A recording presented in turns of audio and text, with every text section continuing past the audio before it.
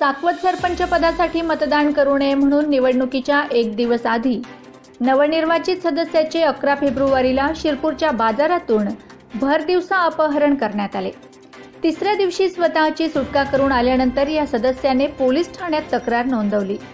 साकवत ग्रामपंचायतीत दोन्ही पॅनलचे प्रत्येकी तीन सदस्य निवडून आल्याने सरपंच आणि उपसरपंच पद कोणाकडे जाईल अशी संभ्रमावस्था आहे.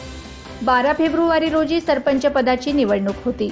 चौदा फेब्रुवारीला घरी गोंधळाचा कार्यक्रम असल्याने अकरा फेब्रुवारीला दत्तू धणा भिल हे पत्नी तोलाबाई भाचा आणि चुलत भाऊ महादू भिलसह बाजार करण्यासाठी शिरपूरला आले. दुपारी चार वाजेपर्यंत बाजार झाल्यावर अरुणावती नदीवरील खंडेराव मंदिराजवळ चारचाकीतून आलेल्या तीन अनोळखी संशयितांनी दत्तू भिल यांना उचलून गाडीत बसवले. नंतर वेगाने गाडी खर्दे मार्गे मुंबई आग्रा हायवेवरून पुन्हा मांडळ शिवारात असलेल्या रिक्रिएशन गार्डन मागे गाडी थांबवली. संशयितांच्या बोलण्यावरून भिल यांना अपहरण झाल्याचं समजलं. अपहरणकर्त्यांनी या दरम्यान बारा फेब्रुवारीला सहा वाजता भिल यांना धुळ्यातील एका लॉजवर नेले. सकाळी पुन्हा अकरा वाजता त्यांना गाडीत बसवून मालेगावला घेऊन आले. तिथून पुन्हा धुळ्यामार्गे शिरपूर येथे सायंकाळी पाच वाजता शिरपूर फाट्यावर गाडी थांबवली. काही वेळानंतर तेथून खंबाळे गावात घेऊन आले. तिथे विडी घेण्याच्या बहाण्याने भिल यांनी नजर चुकवून तेथून पळ काढला. खंबाळेच्या जंगलातून आंबे गावात पोहोचले. तेथे आतेभाऊ रोहिदास भिल याला सर्व हकीकत सांगून त्याच्या मोबाईलवरून पत्नी तोलाबाईला सुरक्षित असल्याचं कळवलं.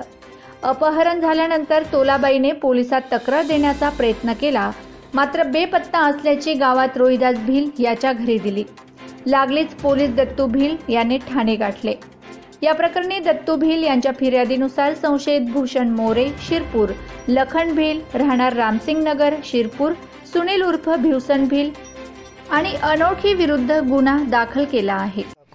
ग्रामपंचायत सदस्य मला संध्याकाळी चार वाजता उठलून गाडीत टाकलं. आणि प गेले ते खर ख खर्दा मार्ग आणि मला ते हे नवी चौपाटी बांधलेली आहे त्यात तरी उभं करलं मग लगेच दुसरी गाडी चेन काढले ते मला. मग तिथून धुड्याला घेऊन गेले आपल्या याला घेऊन गेले ते अम्मनेरला अम्मनेरतून लगेच धुड्याला नाश्ता करून धुळ्यातून लगेच मग मालेगाला गावला घेऊन गेले. लगेच स्पष्ट तिथून आपण मग परत आणले ते इथं धुड्याला शिरपूरला. आणि शिरपूरतून परत शिरपूरतून परत आको मालेगावला घेऊन गेले. मग तिथून लगेच आणले ते मला इथं. मग लगेच फाटावर उभे केले. फाटावरतून मग मला आता लगेच सांगी मार्ग खमाडाला घेऊन गेले. मग खमाडातून मी त्यांची गाडीमधून पडली बिडी घेऊन घ्यायचं नाव करून.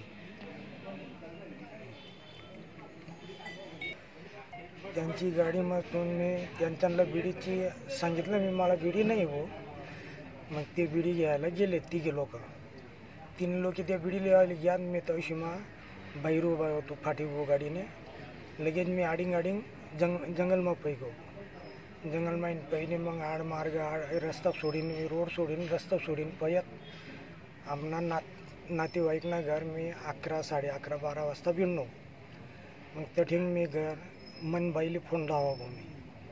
मग मनबाई शिरपूर पोलीस स्टेशनला तिथला टाईम लिहून ये आणि पी एस आय लाईन तरी लेव आली होणे पी एस आय लाईन तरी लेव आलो ना तर मला पोलीस स्टेशनला लाईनात